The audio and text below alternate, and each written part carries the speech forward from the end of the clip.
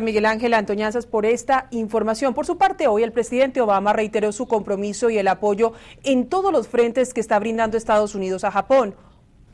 I want to reiterate America's support for the people of Japan. Obama dijo que Estados Unidos apoyará a su aliado Japón mientras se recupere del sismo y del tsunami de la semana pasada, así como de la crisis nuclear que ambos desastres desencadenaron. El presidente hizo las declaraciones durante una visita a una escuela de Virginia. Obama ha ofrecido a Japón todo tipo de apoyo y asistencia mientras se recupera de los desastres.